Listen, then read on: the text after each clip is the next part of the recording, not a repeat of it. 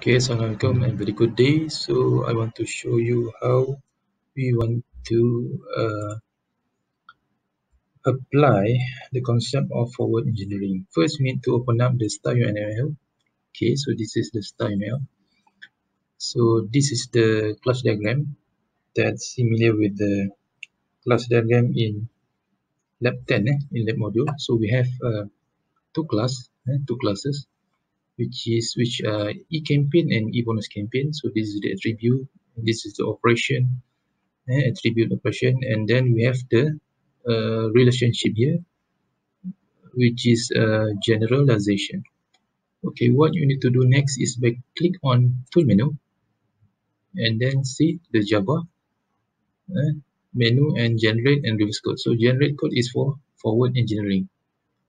Okay, before you can uh, this menu can be appear. So you need to click on the extension manager first eh? and then find the java. Scroll down and find the java. See? Java code generation and reverse engineering. So you need to install first. So i already already installed it. So click close. Okay tool. Java generate code. So click on model. Click ok and then uh, you need to find uh, you need to put where the, location of the skeleton code. Let's say I put in desktop. So in forward engineering folder. Just select the folder. Okay and then minimize it.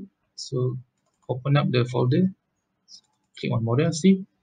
So you can see two uh, skeleton code which is the java file. Ebonus campaign.java and ecampaign.java so right click and click on edit.